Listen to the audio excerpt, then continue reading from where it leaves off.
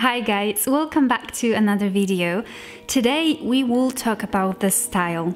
So, you want that unique style, that perfect signature design which everyone can recognize and tell it's yours. A whole beautiful, consistent collection. Sounds amazing, right? But how do you get there? Many makers and artists seem to get frustrated when they don't have their own signature design right away, myself included. I remember feeling a bit depressed even that I didn't have this signature piece of work, something that wouldn't have to be captioned, yet everyone would know it's made by me. But we are forgetting one extremely important thing here. It's never instant. No one has a style from the day one when they started. It's not a package like you unwrap your tools and there they are instructions with your unique style attached. It's just, it, it doesn't happen. Maybe there are some cases that people created their own style from the very beginning, but I'd say they are in a minority. It's not common and nothing to beat yourself over. So, for some makers, the process of finding own creative voice will be faster, and for some, it will be slower. I think it's true regardless the technique, whether you're a jewelry maker or an illustrator. Okay, Basha, everything you say is great, but that's not why I'm here. How do I find my own style? Well, first of all, you have to make a lot of pieces first. So, practice.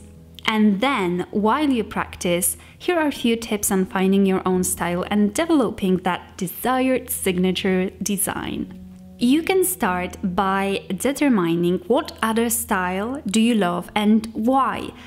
What makes you choose them? Is it a color, a specific shape or a form? Is it minimalistic or something bold and statement? What artists do you admire? Why do you admire their style? Again, what are the elements that speak to you in their work? Then, what elements do you love? Which art period? Think about how can you translate it into your own specific style and designs? How would you use this element across different pieces? Let's say it's a leaf. How would you use that? That would be specific to you. Also, try to think what element are you using the most? Which ones are you using without thinking about them? For me, for example, I would always doodle one specific leaf in my notebooks, so then I tried to incorporate it in my jewelry making and I've already made few pieces with a leaf like that. Then moving on, how original is this element or combination of elements? Because you can come up with something totally new and that by itself will already stand out. Also, have you used this element by accident or deliberately? Try to think about that.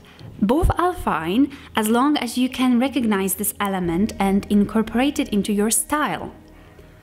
What is your creative process? Try to think about that. It might be more important than you think. Don't copy and don't steal.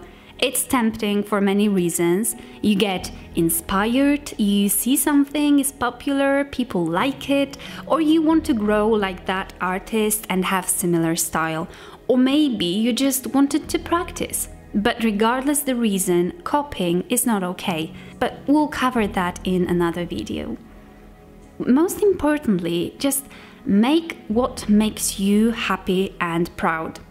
Make what you like to make.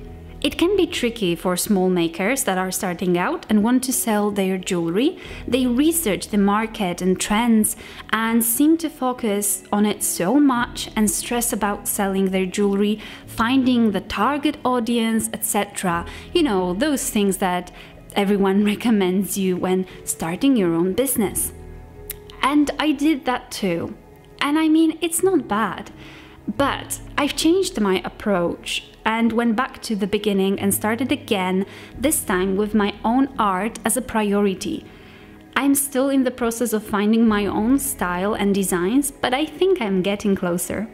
So, yeah, you can notice how people respond to your work, but don't use it as your only argument to keep or drop a design. What you think is more important. So, yeah, give yourself time. Don't stress too much over it and don't push it.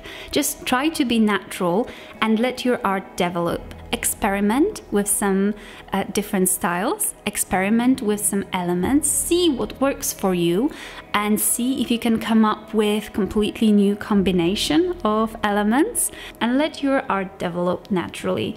I hope you've enjoyed this video. As always, leave your comments below and consider subscribing to support future videos. Thanks so much. Take care. Bye.